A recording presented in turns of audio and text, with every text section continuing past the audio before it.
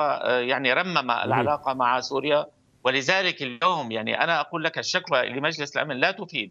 ولكن أنا أستطيع أن أتحالف حتى مع إيران ومع روسيا ومع أي دولة في العالم وحتى الصين إذا كان هذا التحالف تلتقي مصالح وضحت الفكرة أستاذ غسان. اسمح لي على ضيق الوقت. إسرائيل.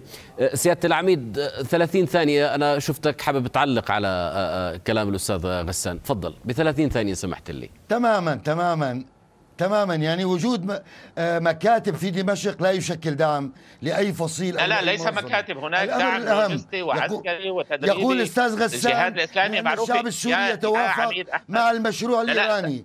رجاء رجاء. طيب. رجاء. لا لا لو سمحت. رجاء لو سمحت. الشعب طيب. السوري لا يتوافق مع المشروع الإيراني. الشعب تفضل. تفضل طيب أستاذ غسان راح أعطيك كمان 15 ثانية. تفضل سعادة العميد تفضل. معك معك الشعب السوري يسأل قيادة سوريا الحالية. إلى متى يتم التضحية بالشعب السوري؟ حتى الطائفة العلوية. تسأل إلى متى يتم التضحية بالشعب السوري مقابل أهداف إيران في المنطقة؟ إيران غير مرغوبة في سوريا حتى من قبل العلويين. لذلك أرجو أن لا نقلب الحقائق.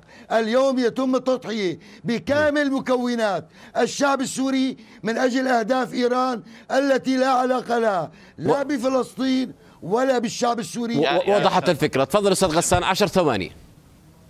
التضحية كانت بالشعب السوري. عندما كانت هناك غرفة الموت تمول الجبهة الجنوبية عندما كانت القذائف والصواريخ تسقط على دمشق من الغوطة عندما شكرا لك. كان هناك جيش الإسلام وفيلق الرحمن وغيرهم يضربون العاصمة ويهجمون على العاصمة. شكرا لكم ضيفي الكريمين. عذراني جدا على ضيق الوقت.